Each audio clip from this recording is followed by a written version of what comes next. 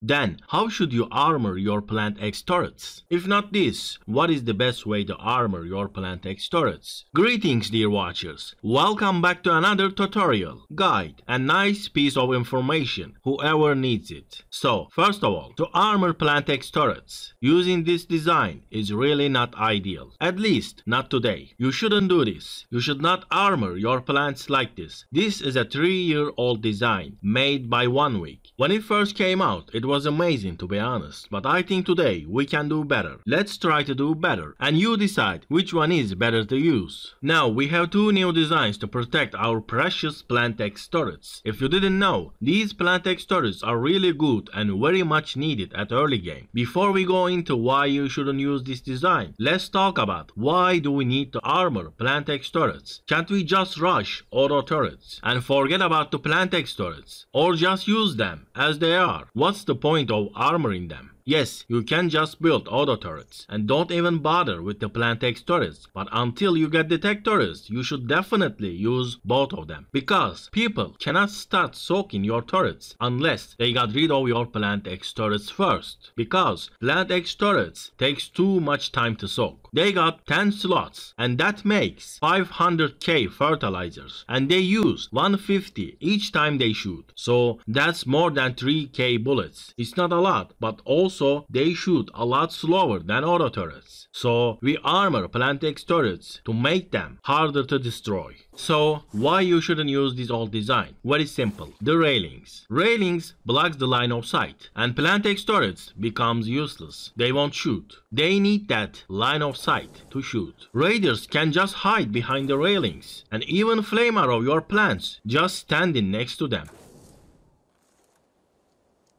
Now, let me just show you how to build this old design real quick. You need to lower these two times and place the crop plot right in the middle, so the foundation can support the hatch frame. And you can extend with the ceilings or with foundations and place the railings. But I think they changed this so you can just place the railings to the inside snap point. It used to block that, that's why we had to extend to use the outside snap point.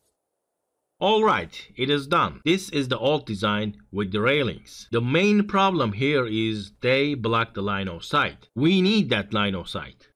Also, for the pillar X plants, never put your X plants on pillars, especially near your base, because the raiders can just go under it. It's like, what's the point now if they can just go under the X plant? and hide. Well, if you can add more railings, it can be used to stop people going under your Plant X turrets, but still, no line of sight there. And you might say, I'm gonna have turrets nearby, so that's gonna fix all the problems. It won't. Raiders gonna hide behind your pillar, and they're gonna get closer to your base. That's never good.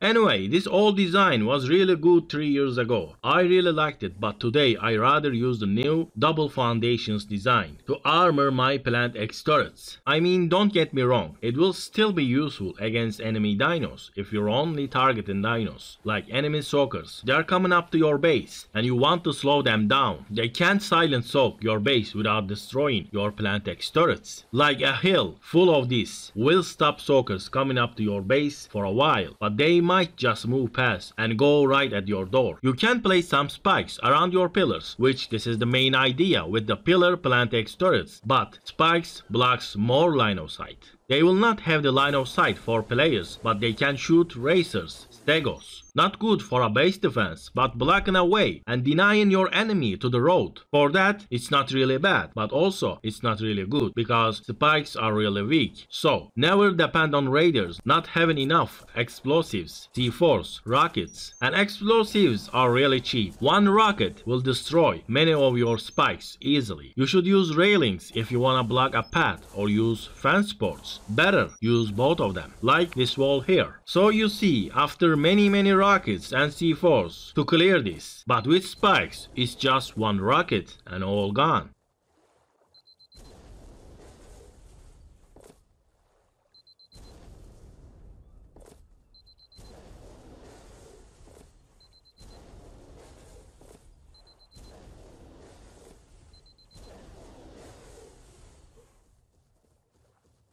Most important problem with this design is railings. They block the line of sight very badly. You already seen that, but let's talk about a little bit more. Line of sight is something you desperately need for your plant X turrets. With railings, they can just hide and chill here. So, what do armored plant X turrets actually achieves? First of all, they prevent raiders running to your crop plot and taking out the fertilizer. If your plant X turret is not armored, raiders can just run to the crop plot and take out the fertilizer and then your plant is dead.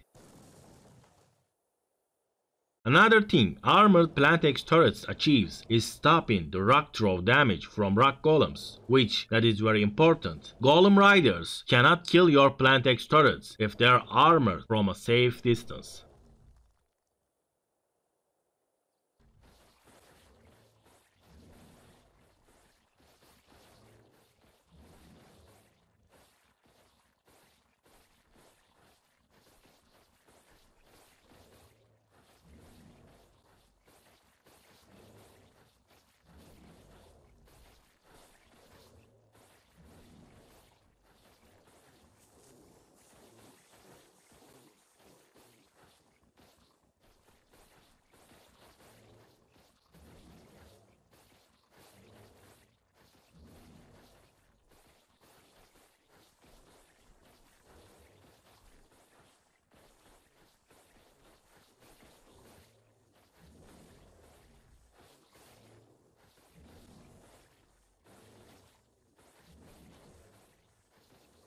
And now we're gonna take a look at what do armored plant X turrets doesn't achieve. You already seen armor can't stop flame arrows and the armor also can't stop rockets and it can't stop the C4 or any other explosives.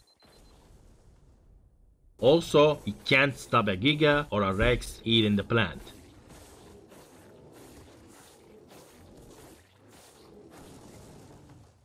Also, of course, the tech rifle, as long as they're close enough to get in the range, they can damage the plant. Even though that's not the way to destroy a plant.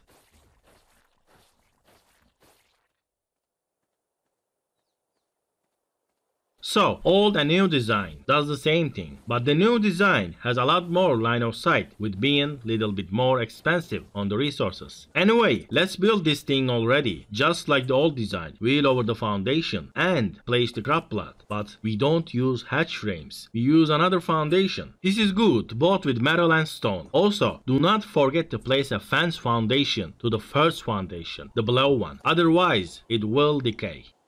So how do we access the crop plot now? Just from the side you can access the crop plot, but so do raiders. To prevent that, we don't add railings.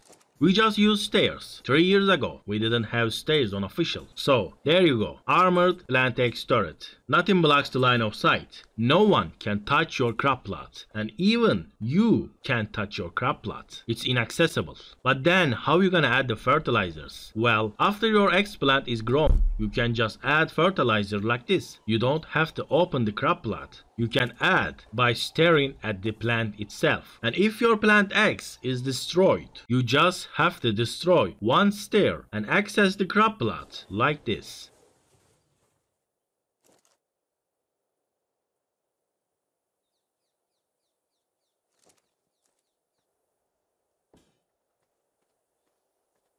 You can also make the same thing with all stone. If you're feeling rich, go with metal. Armoring your plant X is just a wrong way of saying armoring your crop plot. Yes, when we armor our crop plot, even your plant X gets destroyed. Your fertilizers and your crop plots will be still there. So you actually armor your crop plot. And that armor makes your crop plots indestructible. Of course, unless they destroy your armor too. Only then they can destroy the Kraplath.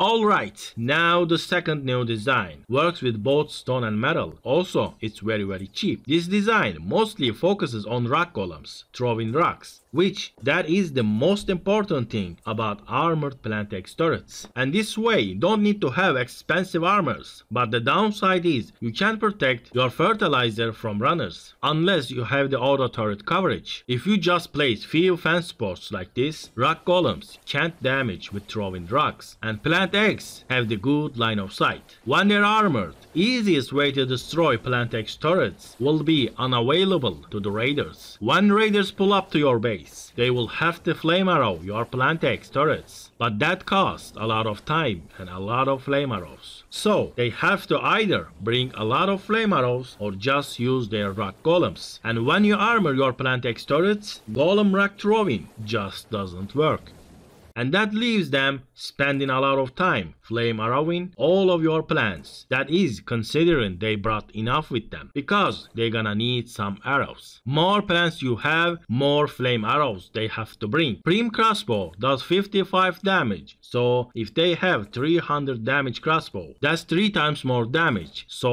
165. That's almost 9 for each plant. If you have like 10, that's 90. Let's say they miss 10 shots, 100 flame arrows for 10 plant X. have like 30 plant X turrets. Well, this is not gonna stop them, but still, they have to stand there and shoot your plants. In that time, one of your tribemates might come online. Just with some plants, if you can delay the raiders even for 30 minutes, that's good for you. And now, just taming a rock golem won't work anymore. Use the cheap fence pots or the expensive foundations. Either way, it's very worth it to armor your plant X turrets. I use these designs on my official official small tribe series. Most of these things come from being solo unofficial and trying my best to improve my defenses. That leads to coming up with new things or searching and finding other people that already did. I'm also gonna make another standalone video about this subject later on, about rock golems. And before we end this video, let's get this straight. I'm not really claiming this design. It's been a while first time I used this design in one of my videos. This is the video I used this design to armor my plant X turrets. I'm not sure if I saw this on YouTube or in game and maybe I just came up with it on single player. I'm not really sure about this. It's been a while, there is a slight chance of this design being mine, but it's slight. Anyway, it doesn't really matter who came up with it. And one more thing before this video ends. While I was recording, I found out instead of railings, you can just place stairs. This way, it will be cheaper and also Plant X turrets will keep the line of sight.